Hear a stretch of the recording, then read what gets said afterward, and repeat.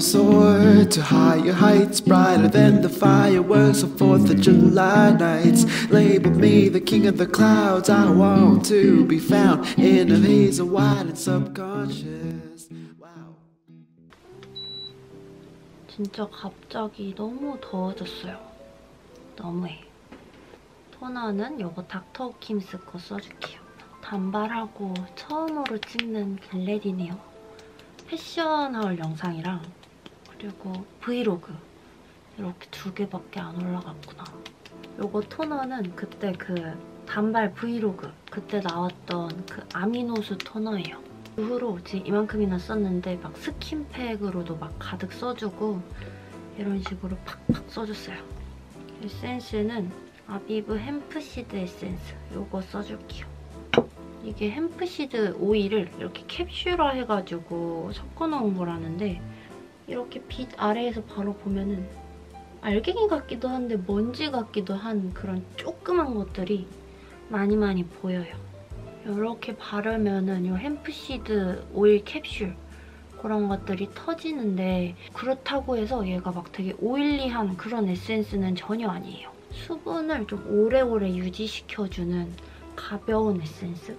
그래서 오늘 이렇게 아까 토너 에센스 이렇게 발라주고 요거랑 같은 브랜드인 이 닥터 업김스 크림을 바를 건데 좀 지금 전체적으로는 안 발라줘도 될 것 같거든요. 그래서 그냥 이렇게 입 주변이랑 코 주변 이 정도만 발라줄 겁니다.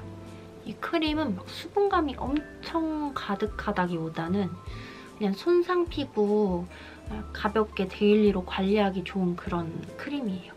묵직하지도 않고 마냥 가볍지도 않은 딱 기본템 크림. 선크림은 요거. 닥터지 그린 마일드업 선플러스. 이거 제가 진짜 좋아해요. 외박 갈 때도 이렇게 렌즈통에 넣어가지고 가져갔는데 이게 지금 좀 남았어요. 이게 짜둔 게. 그래서 오늘은 이걸로 바를게요.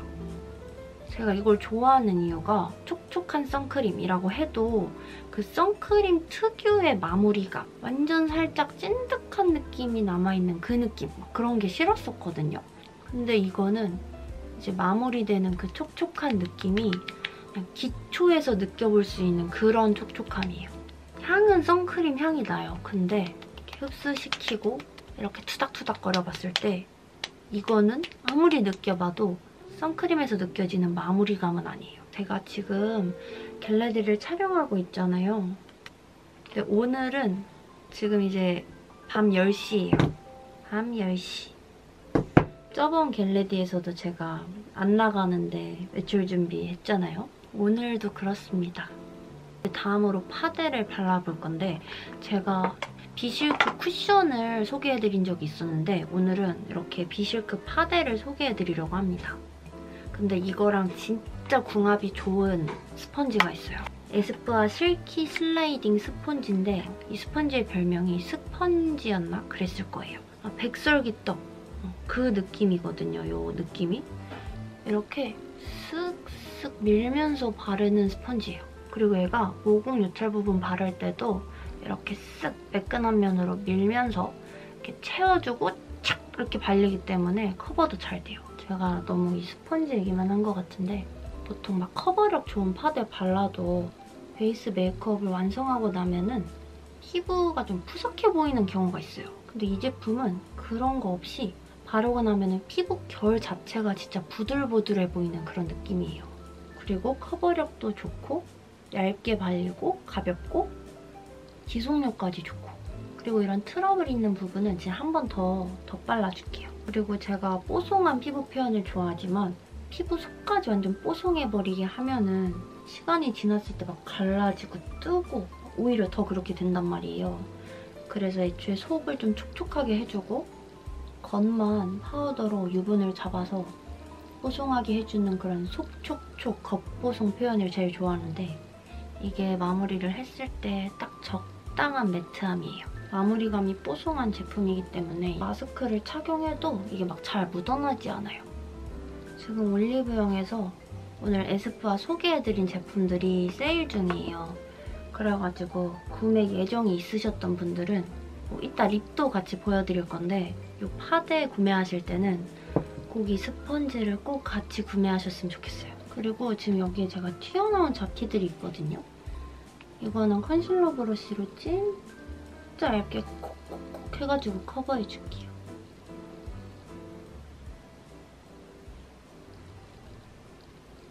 그리고 이 이니스프리 파우더 포도향 멘토스 더 겉이 뽀송뽀송해 보이도록 마무리를 해줄게요. 메론 향도 있고 체리 향도 있는데 우선은 제가 멘토스 중에 포도 맛을 제일 좋아한단 말이에요. 그래가지고 이거를 제일 먼저 개봉해봤어요. 그 다음에 페리페라 skinny brow 이걸로 눈썹 그려줄게요. 왜 이렇게 제 방이 후덥지근하죠? 에어컨을 지금 틀어놨어요. 근데 왜 더 더워지는 것 같지 아까보다? 이거 페리페라 skinny brow 이거 진짜 좋아요. 군더더기 없이 깔끔하게 그리기 좋은 그런 얇은 심에다가 이게 그립감도 되게 좋아가지고 페리페라가 틴트 맛집 그런 타이틀도 있지만 알고 보면 brow까지 맛집이랍니다. 눈썹 문신을 하고 싶다가도 할 때 막 아플 것 같고 다시 또 받으러 가고 그런 과정이 저한테는 조금 귀찮아가지고 자꾸 안 하게 돼요.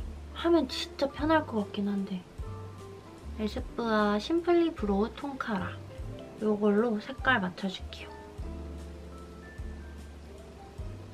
오늘 좀 분위기 있게 메이크업을 하고 싶어서 제가 에스쁘아 팔레트, 그러니까 이게 총 3컬러잖아요. 근데 제가 그중에서 로즈 계열 컬러는 제외하고 이 두 가지로 가져왔어요.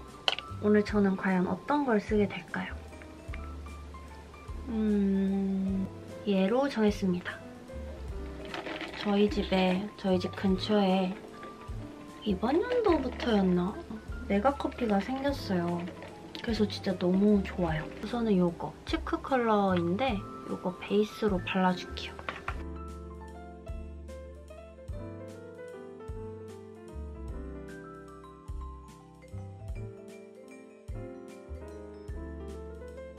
너무 행복한 이야기예요. 제 프렌즈를 좋아하잖아요. 근데 저희 사촌 언니랑 친한 언니가 진짜 너무 소중한 선물을 보내줬어요. Friends Central Perk 카페 있잖아요. 그 조명, 네온 사인도 받고 문틀도 받고 뭐 Friends 립밤, 뭐 magnet, 컵, 뭐 키링 이런 걸 받았어요. 그래서 진짜 너무너무 행복했어요. 아무튼 이렇게 일단 베이스 깔아줬고요. 그리고 이 컬러를 애교살에 발라줄게요. 이거는 진짜 조그만 총알 브러쉬인데 피카소 777번이에요. 브라운 느낌보다는 coral 느낌이 강하게 돌아서 일단 애교살 볼륨 살려주는 용도로 이렇게 좀 일단은 진하게 얹어 놓을게요. 그리고 다음으로 assumption이라는 이 컬러를 포인트 shadow 브러쉬에 묻혀서 아 이거는 에뛰드 하우스 제품인데 제가 제일 좋아하는 eye 메이크업 브러쉬예요. 지금은 이게 다른 디자인으로 살짝 리뉴얼 된 걸로 아는데 삼각zone이나 막 쌍꺼풀 라인에 도포하기 진짜 좋은 그런 shape이에요. 이거를 쌍꺼풀 라인에 한 3분의 1 정도에 발라줄게요. 여러분 제가 photo 다이어리를 쓰거든요. 코닥 mini shot 이라는 제품 있잖아요. 프린터기.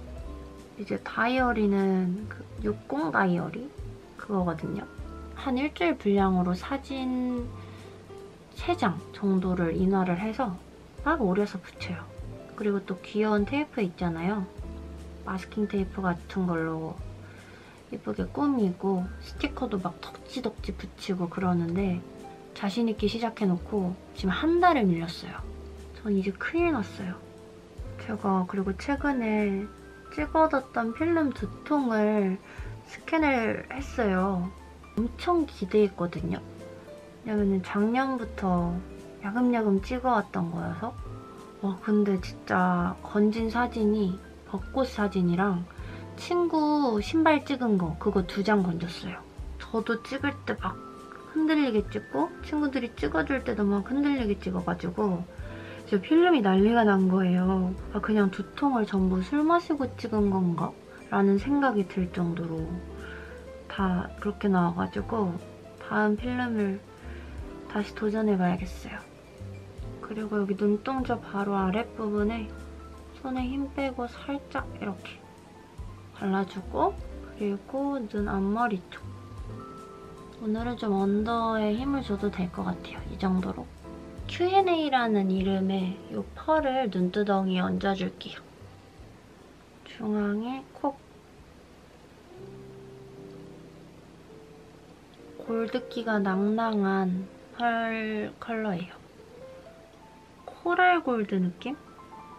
어, 이건 애교살에 발라도 예쁠 것 같아요.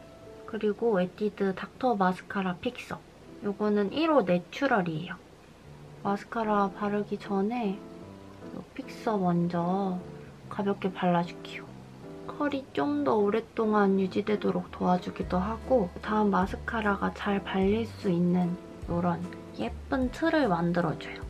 그리고 glitter는 롬앤의 evening star를 발라줄 거예요. 오늘 컬러감이랑 진짜 잘 어울리죠? 오늘 완전 펄부자다, 펄부자. 너무 과하지는 않게 얇게 이 정도로 끝내줄게요. 그리고 여기 콕콕 몇 개 찍어줘도 좋겠다. 너무 많이 찍진 않을게요. 그리고 마스카라는 지베르니 제품인데요. 이것도 진짜 좋은 마스카라예요. 얘는 이렇게 솔 자체가 좀 듬성듬성한 느낌이에요. 그래서 이게 잘 발릴까? 하고 좀 반신반의하면서 발라봤는데 적당히 강조되는 그런 중간 느낌으로 래시 표현을 잘 해주고 쿠션 브러쉬로 머리를 빗는 느낌? 오, 비유 잘했다. 그리고 언더 래쉬도. 그리고 아까 그 음영 컬러로 삼각zone 좀 채워줄게요. 근데 제가 아직 반대쪽을 안 해서 이쪽도 마저 해야 돼요. 이 오늘 eye 메이크업 색감이 되게 따뜻하잖아요. 그래서 lip까지 아예 완전 다 따뜻하게 해버릴까 하다가 그냥 lip 색감은 살짝 생기를 섞어볼게요. 에스쁘아의 nowear chiffon matte라는 제품인데 이게 전 색상이 8가지가 있어요. 제가 지금 8가지 다 갖고 있거든요. 컬러가 이렇게 다 달라요. 색상별로. 그래서 이제 제품 choice를 할 때 이 케이스 컬러를 보고 무슨 색이네 이렇게 유추를 해보면 됩니다. 오늘 저는 두 가지를 섞어서 발라줄 건데요. 먼저 이 fuzzy 컬러. 이 컬러를 overlip해서 베이스로 발라주고 그 위에다가 라라라 이름도 너무 예쁘죠? 이 라라라 컬러를 섞어줄 거예요. 이렇게. 이게 전체적인 컬러감이 다 맑은 컬러감으로 구성되어 있어요. 그래서 뭐 발색이 쨍한 립스틱도 좋지만 필터를 씌워준 듯한 그런 색감은 찾기 힘들잖아요. 이게 전 색상 다 필터 씌운 그런 맑은 컬러감이기 때문에 전 색상 다 소장가치 있는 컬러감입니다. 그리고 이게 얇고 뽀송하게 발리기 때문에 마스크에도 잘 묻어나지 않아요. 그리고 뭐 매트 타입이라고는 해도 입술이 불편하지 않은 적당한 매트함. 그냥 실키 뽀송? 이렇게 베이스로 발라줍니다. 그 위에 이 라라라 이거 발라줄 거예요. 요즘 제가 진짜 좋아하는 노래 두 곡이 첫 번째로는 오마이걸님들의 살짝 설렜어랑 두 번째가 에이프릴님들의 랄라리랄라입니다. 두 곡 다 진짜 너무 좋아요. 이 라라라 때문에 생각났어요. 퍼지 컬러가 조금 맑은 인디 핑크 컬러였다면 이 랄랄라는 좀 형광 코랄? 그런 컬러감인 것 같아요. 오늘 lip 되게 차분하고 이쁘죠? 블러셔는 오늘 나가서 사왔거든요. 집 앞에 올리브영 가가지고. 에뛰드 heart cookie 블러셔. 다섯 가지 컬러가 있었던 걸로 아는데 그냥 제 마음에 쏙 드는 제가 daily로 진짜 자주 바를 것 같은 두 컬러만 데려왔어요. 내장 퍼프 말고 그냥 브러쉬로 발라줄게요. 이제 제가 최근에 술 먹으러 나간 날 이제 이 향이 너무 마음에 드는 거예요. 너무 이쁘고. 왜냐면은 전에 이걸 잘 썼으니까. 그래서 들고 나갔는데 그날 한 3차까지 갔거든요. 근데 1차까지는 있었던 것 같아요. 친구한테 뿌려주면서 이거 진짜 좋지 않냐? 막 이러면서 막 향 맡게 했었는데 없어졌어요. 근데 이게 이게 다시 산 거거든요. 근데 다시 사기가 좀 아까웠던 이유가 이게 여기 리필 하나가 지금 들어있어요. 7mm가. 근데 구매할 때 이 케이스랑 같이 리필 두 개가 또 딸려서 와요. 그래서 집에 리필 두 개는 있는데 케이스만 따로 팔지를 않으니까 그것 때문에 다 다시 사야 되는 거잖아요. 그래서 너무 아까웠지만 하, 저게 너무 마음에 들어서 다시 샀어요. 여러분 이거 컬러 너무 이뻐요. 베이지 핑크가 살짝 떨어진 그런 컬러인데 제가 엄청 자주 썼던 그 3CE mood recipe 블러셔 라인 있잖아요. 그 색감들이랑 비슷한 느낌? 분위기 있게 엄청 차분한 느낌의 컬러여서 필터 씌운 느낌이에요, 볼에다가. 근데 지금 이게 생각보다 핑크기가 조금 가미되어 있어가지고 아까 eye 메이크업에 썼던 이 peach like 팔레트에 이 peach 블러셔를 조금 mix해줄게요.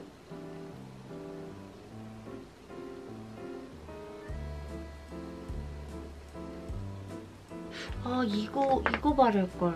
버터럼. 이게 딱이죠 그쵸? 이거 발랐어도 괜찮... 어, 이거 딱이다. 치크까지 하고 나니까 조금 이거를 지워내고 다른 조합으로 또 보여드려야 될 것 같아요. 지금 바르는 건 버터럼 컬러예요. 이 컬러도 베이스로 써도 좋고 단독으로 발라도 좋아요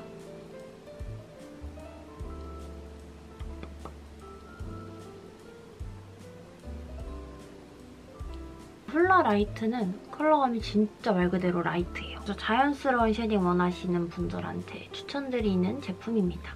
종종 인스타나 유튜브 댓글에 몇몇 구독자분께서 언니 옷 취향이 많이 바뀌었어요. 막 신기해요. 막 이런 댓글들 남겨주실 때가 있단 말이에요.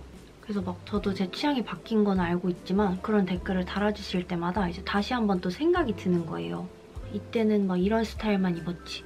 이런 거를 다시 돌이키면서 생각해보니까 제가 진짜 많이 변한 것 같아요 스타일이. 유튜브 완전 초반에는 제가 flower 블라우스 flower 원피스, 뭐 리본 블라우스 이런 거 되게 좋아했어요. 제가 그때는 치마를 좋아해가지고 바지를 진짜 잘 안 입었어요. 지금은 치마를 자주 안 입고 바지를 오히려 더 자주 입고 뭐 플라워 디자인 제품이나 무늬가 화려한 제품들은 잘 안 입고 무늬가 없는 제품들을 더 선호하고 이런 식으로 취향이 진짜 많이 바뀌었더라고요. 그래서 저도 사진 돌아보면서 되게 신기했어요.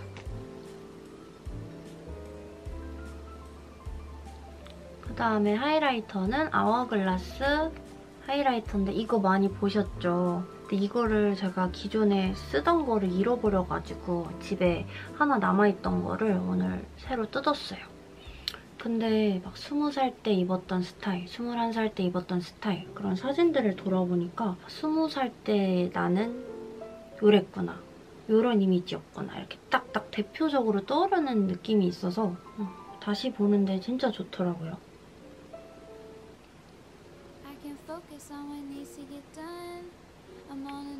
옷을 갈아입고 왔습니다. 머리, 머리도 하고 단발로 하고 나서 스타일링 시간이 진짜 많이 줄었어요. 오늘도 의도치 않게 진짜 의도치 않았지만 상의, 하의 다 블랙업 제품이에요. 요거는 H라인 스커트기는 한데 그냥 스커트 팬츠예요, 이게. 이게 이렇게 팬츠랑 같이 되어 있다 보니까 좀 낑기지 않을까 걱정했는데 되게 여유로워요.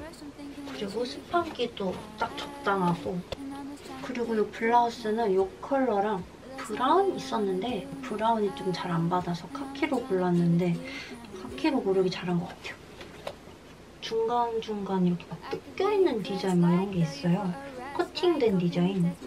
그래서 뭔가 더 흔하지 않고 예쁜 것 같아요. 최근에 구매해가지고 잘 들고 다니는 가방인데 이렇게 편하게 들 수 있는 바게트 백이에요. 레이브 제품이고 이게 가죽으로 된 것도 있었는데 저는 그냥 이 소재를 좀 더 편하게 들 수 있을 것 같아서 이걸로 구매했어요. 근데 가죽으로 화이트 컬러가 있는데 그건 되게 탐났어요. 근데 그거는 좀 기다려야 된다고 해가지고 좀 더 빨리 매고 싶어서 이걸로 변경을 했죠.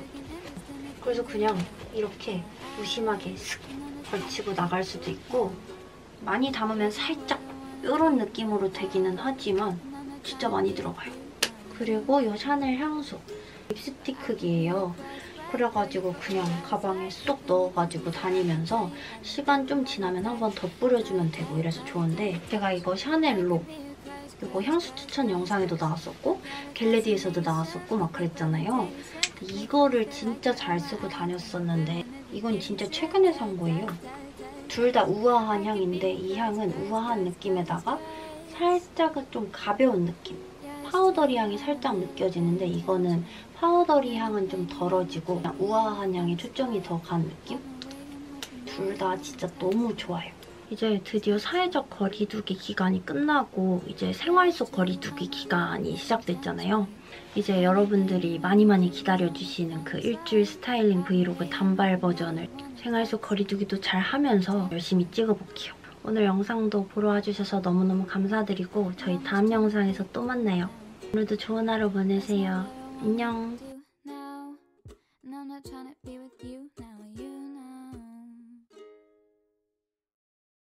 I could be a crush like tell you for a rest.